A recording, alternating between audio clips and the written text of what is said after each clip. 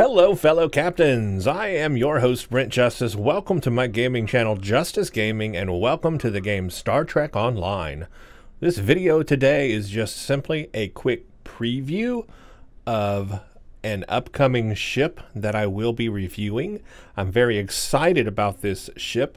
I got it finally in Star Trek Online. I have been wanting it since it came out, and I was finally able to grab it because check this out. I have finished my event campaign 3, the entire event, 3500 out of 3500. Ship claimed, reward claimed, reward claimed. For me, the whole thing is over. I have claimed the special tier 6 ship that you can get from this event. I did not go the route of a Zen ship. I chose one of those special premium starship choices they have because it's a previously released ship that you could only get in one of those really special boxes. And I, of course, never get those kind of ships. So I had to go for it this time. So I did. So I'm going to make a quick cut and I'm going to beam up to space and you're going to see what I got. Well, folks, here I am in space. And here is what I have. If you're having trouble seeing it, it's not you, it's me. Yes, I have finally the Universe class, the Enterprise J from the 26th century, as first seen in Star Trek Enterprise. And here it is. It is what some people would call the pizza cutter or pizza slicer of Star Trek, and I totally see it. Here's the handles. Here's the wheel. You roll it sideways like a pizza cutter and cut your pizza. I get it completely now. Also, this thing is gigantic. I am totally zoomed out right now, 100% zoomed out on this ship. I cannot zoom out any further. It's taking up my entire screen, my entire HUD. I would have to move all of my uh, HUD around and all of my buttons and everything so I could just so I could see the whole ship. it's ridiculous. It's ridiculously big. It dwarfs everything in this game. It's really massive, guys. Let me tell you, it's massive. But I now have this ship, and I am so excited because I have been wanting to fly it. I've been wanting to try it. And I have now been playing it playing with it for a little while now. I, um, yeah. So this is the preview. This is it. This is a, a ship that I will have a review of in the future on this channel. Therefore, subscribe, hit the bell notification, and like the video so that you are aware of when that review of this ship comes out. It's not ready yet. As you can see, my hotbar is a total mess. I have no powers like figured out on this thing. I've got redundant powers all over the place. This is not my finished build at all, in no way, shape, or form. I threw this together so I can show you and so that I can play around with the ship. But I am working on it. Anyway, and yes, I am using a unique shield which gives it this visual appearance. It does not look like this texture-wise by default. That is a unique shield visual I am using. It's the Terran Shield visual. So I think I, I, like that look quite a bit on it. But it's a slow moving ship, or at least it looks like you're moving slow because you are just so big. So it literally looks like you're moving at a snail's pace, even if you are making big strides in uh, movement. It still looks like you are going slow. Turn rate really is not as bad as I thought it was going to be. Of course, I've got some buffs that are helping with that. Turn rate's not as bad. Could be worse. I could imagine if you didn't have some of those buffs, it would be worse. Probably a very slow moving ship, but I have found it to be serviceable. Hmm. But you do have to get used to sitting still and kind of not moving in battle because you move away from the enemy too much. They're very small. So you pretty much just have to kind of sit there like this in space and just spacebar everything and just like push your buttons and just kind of sit there and not do anything. It's uh, kind of how you have to fly the ship. But I'm going to go in more to that when we do the review, the play style of the ship and that sort of thing. Let me just walk you around it really quickly and show you some things. So it's got fighters. It is, I guess, a carrier ship. It's big enough to be a starbase, really. But yeah, it's got uh, fighters. So you can re release uh, four, uh, two wings on each side, or four wings total. Um, and it, they are four ships. They're not like a, a, wing or a series of ships. They are literally four ships, and they are called Cestus. Let me get the stats on them for you here. Uh, elite, I'm using the Elite versions right now. Elite Cestus frigates. So they are frigate ships. They are ships within themselves. I mean, they are pretty healthy ships. Um, 56,000 hull. I mean, it's a it's, it's a ship it's four ships that come out of this thing. So they're not anything to be fooled around with. They're not like little bitty tiny fighters. No, these are frigates. So keep that in mind. That's what you're going to be flying. But they come out the back of the ship and uh, deploy, and uh, there, there, there, there they are right now. Kind of uh, see if I can get a closer view of them. There we go. There's a good view of it. So that's what they look like. Very futuristic looking. They're stacked on top of each other right now. They only have one warp drive each, but they are kind of stacked on top of each other right now. But anyway, that's what they look like. A very unique design. And I think they look kind of cool. They fire phaser energy type. So if you're going to build this ship out properly and buff energy damage, you're going to want to do phaser energy type, which I am using right now on this ship. Uh, but so that's one of the unique things is it has those fighters. So you're going to always have those deployed helping you fight. And I'll go in the review. I'll talk more about their abilities and what they do, of course. Um, it has some unique features. It has an energy distributor, distrib, hard word to say, energy distributor accelerator. And you can read all about what it does right there. Again, in the review, we'll go over it more. That's what it looks like when it activates. Really cool looking visual. And if there's other ships around me, it will send out a pulse and also activate it on those ships as well. And uh, so basically, if you have allies, it will help your allies as well when they're in your area of influence. It has some other cool abilities. The overcharged gravatic lance, and uh, basically a weapon that's based on the Tox Uthat, which is kind of cool. And again, in the review, we'll go over all about what that does. It also has a secondary firing mode. When it's active, you can do this secondary kind of fire thing with it, which is really cool. This is considered a temporal starship. Because it's a temporal starship, it has the molecular deconstruction beam, so you're going to get that ability as well. So you've got a lot of like beams and powers with this ship. And um, because it's so wide, I figured I would put the wide firing quantum torpedo on this ship, the one with the wide arc, because you do have to kind of sit there and not really do a lot. So if you're going to be firing like projectiles, you would need to point the ship toward the enemy, and that can be difficult. So I figured the wide firing, the one that has a very wide, like 250 degree arc on it, uh, quantum torpedo, that's the one I'm using on this ship, and I think it fits really well. And I am using a phaser energy build, and actually I am using the quantum phase energy um, set as well.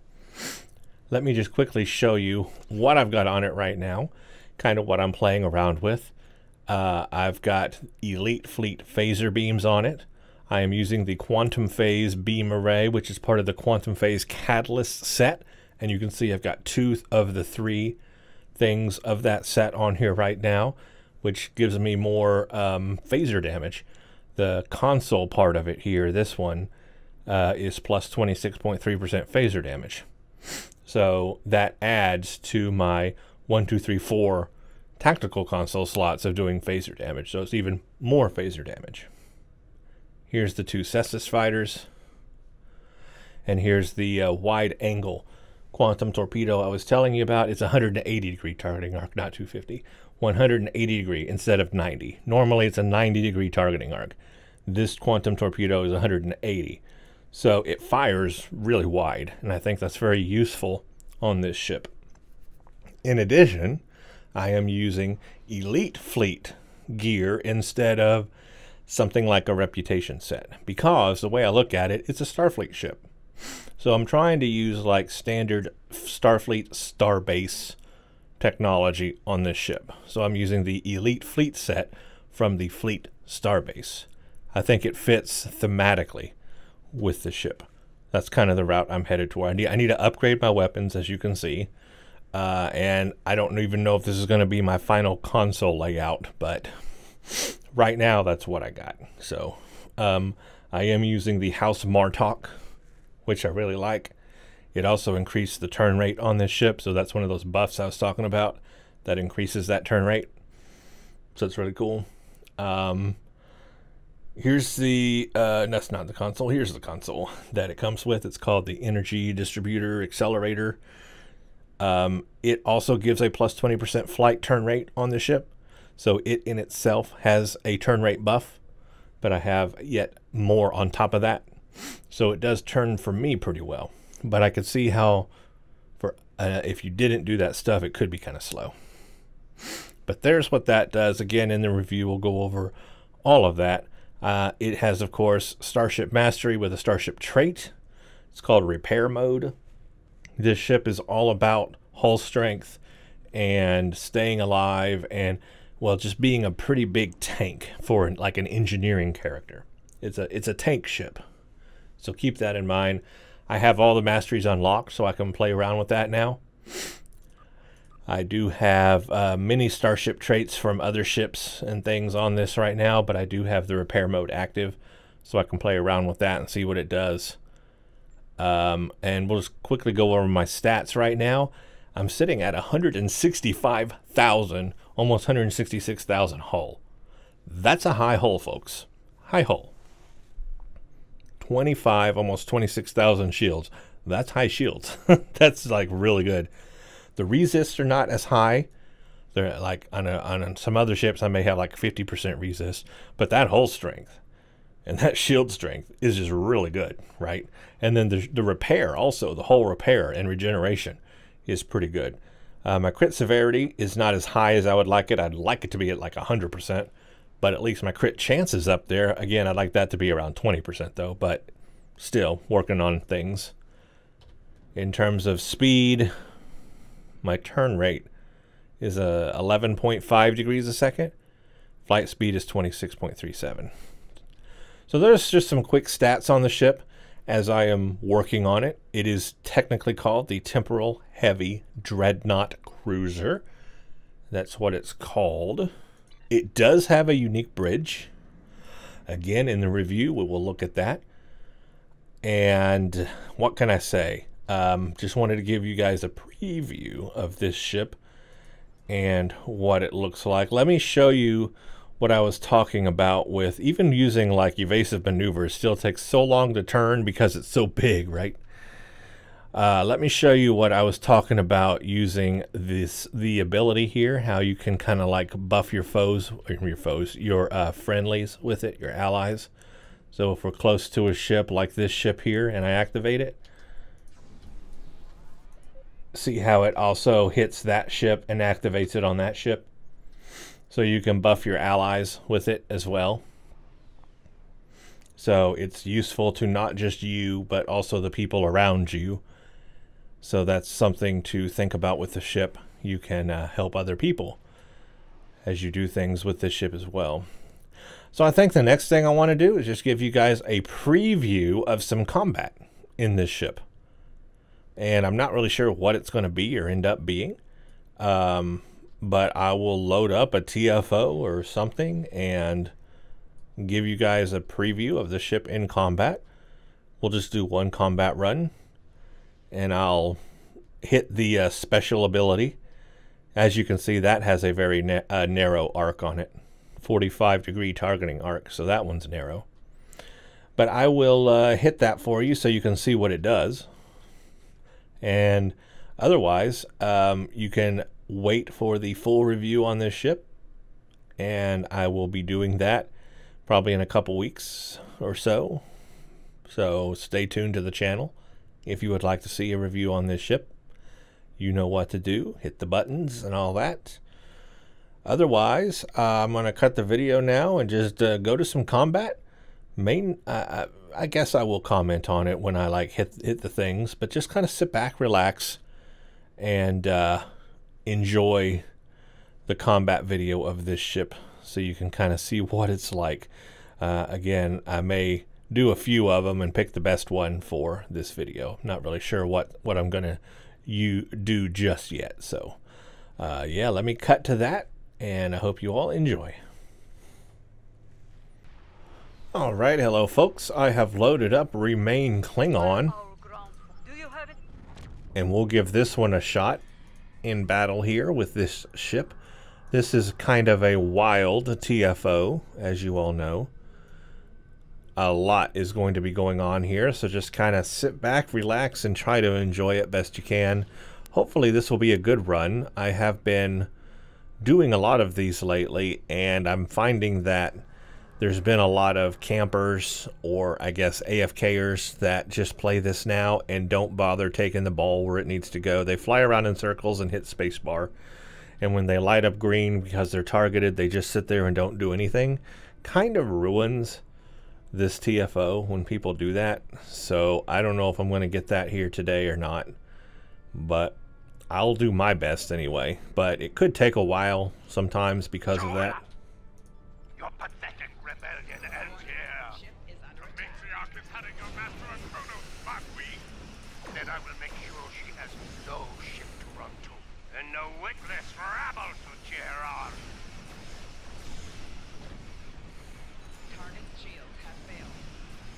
As you can see, moving is kind of slow with this ship. You have to basically just sit and fire, and it's sometimes even hard to see where your beams are hitting.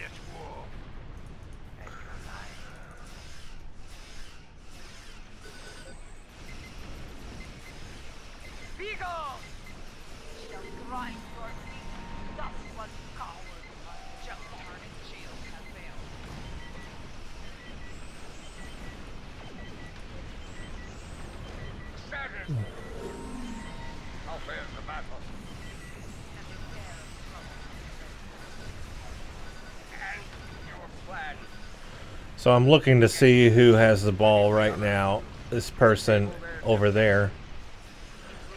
I may go over there and try to help now. Getting over there can be a problem with this ship. It's so big. There's the main weapon. I just fired it. And it did quite a bit of damage. The ship cloaked again and I, I'll show you when the secondary mode becomes available. It's kind of hard to predict how that works yet. Uh, there's some somebody with the ball. Okay, good.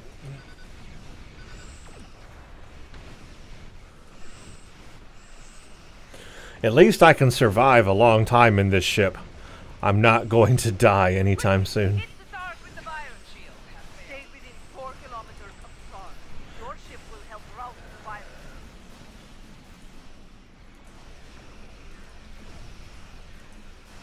There we go. I was trying to target the ship.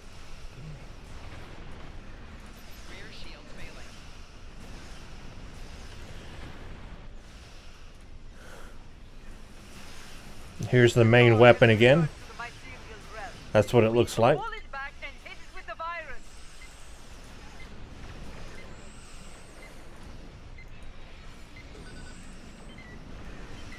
This person has the ball. Where are they headed? Here again.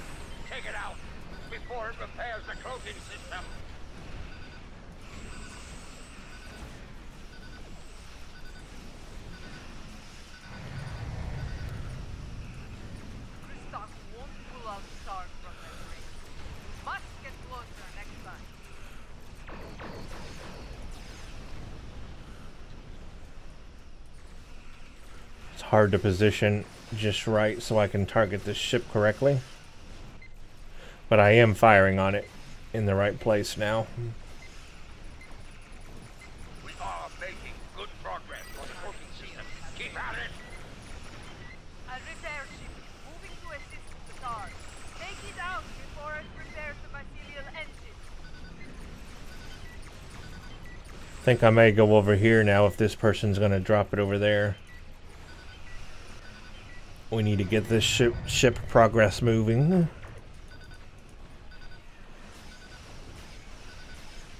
Oh no, he needs to go to he needs to go to the other ship. See, that's what I'm talking about. That person needed to fly over here to this ship and he wasn't doing anything. He was just he's just flying around this ship. He's at the wrong place. That's what I hate. And I think it's probably because they either don't know what they're doing or they're purposely just flying in circles. repairs the cloaking system. Look, he's got the ball again, but he's not doing anything with it. He needs to go over there. Uh, this one really can be frustrating. See, he's flying in circles, so I think he's one of those just people that's just trying to get points or XP or whatever and just doesn't care about actually playing the mission. Which is frustrating for people like me who actually want it to succeed. Now he's. Now he's moving, but he he didn't make it. Dang, it's this telling you what. This this one can be frustrating. This TFO No can be frustrating. The targ fired before you could get into position. Get closer next time. It can take forever because people aren't doing what they need to do. Seriously, if it would give me the ball, I know what to do. A repair ship moving to assist the guard. Take it out before it repairs the mycelial engine. Well, at least I can sustain all of this damage, you know.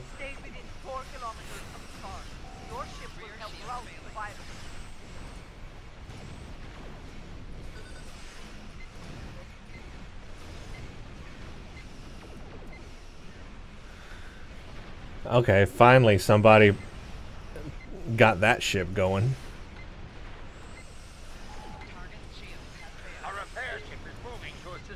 Yeah, it can be a little hard to uh, move sometimes. In this ship. That's one of the biggest issues is just maneuvering around.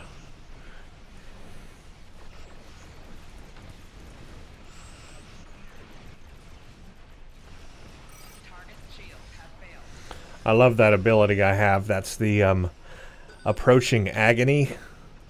Really cool ability. Can do a lot of damage. Mycelial damage.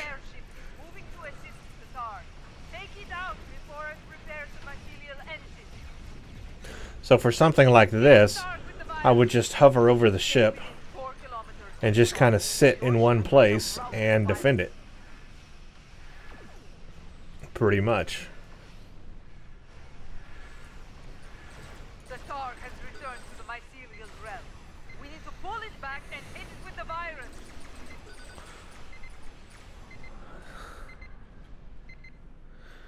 Okay, that person has it. Come on. Get to where you need to get to. And this person needs to get over here, but they're not.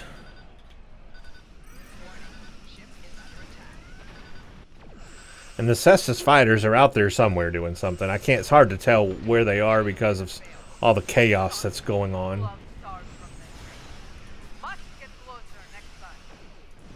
Time. Cloaking system destroyed. Keep the repair ships away and eliminate the targ. Okay, so now we just need this ship. A repair ship is moving to assist the guard. Take it out before it repairs the mycelial engine. There's the main weapon again, just so you can see it activate. They, I need to get the secondary thing going on it though, because that's really cool when it fires.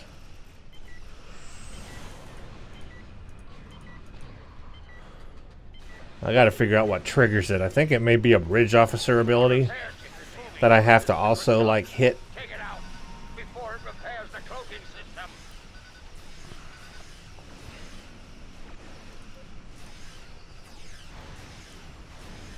There, see how it changes the icon to a different icon? looks different now. That's the other ability. I, so it's when it lets me fire it, I can do that.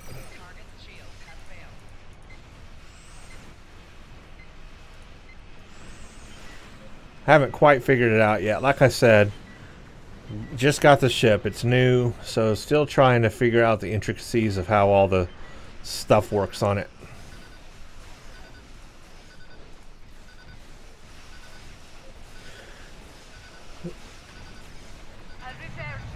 See this this now this there's my Cestus fighters somewhere out there firing on there. Those are not mine. Those are somebody else's. Anyway, um, yeah, this is where it gets frustrating with this TFO is when we need the people who have the ball, like him, to get over here, and they ain't doing it. They ain't doing it. We're never going to succeed unless we get it over here Get over here. You can do it. Come on. You can make it. Finally.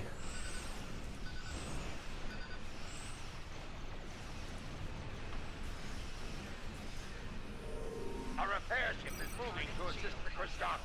Take it out before it repairs the cloaking system. Stark is back. It is with the virus. Stay within four kilometers of Stark. Your ship will help rout the virus.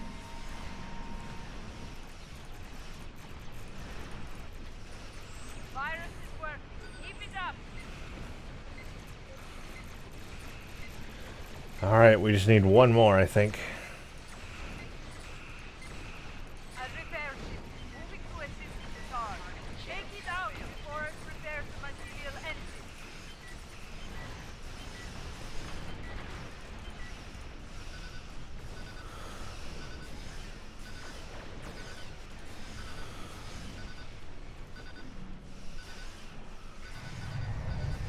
Christock won't pull out Stark from that ring. Much See, that person took it to the wrong place. We need it over here.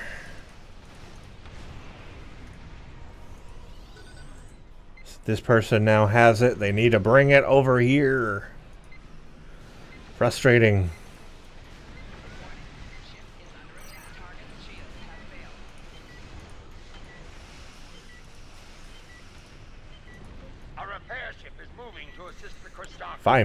A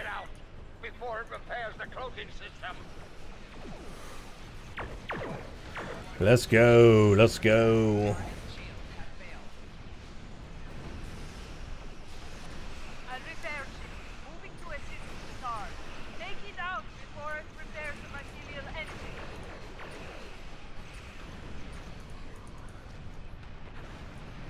Did we get it over here?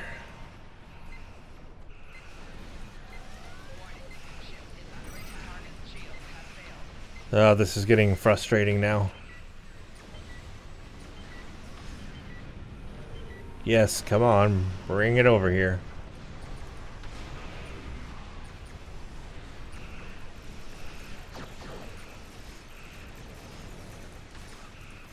Quickly, hit the Stars with the virus. Stay within four kilometers of the Star. Your ship will help rout the virus. Can't see what's going on. So much stuff happening. Both dreadnoughts are vulnerable. All ships, fire at will. Okay, finally. Ah, uh, I got that stupid thing where they fling you forward. All right, let's hit them with what I got. I got that, and I got that.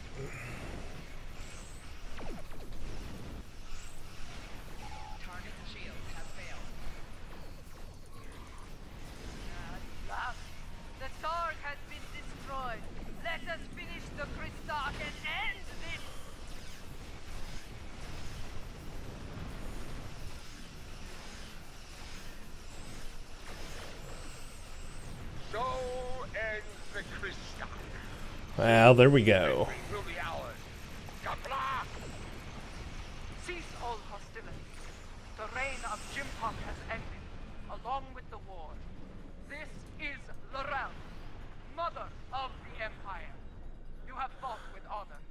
Rejoin the Empire. Okay, remain Klingon. Done.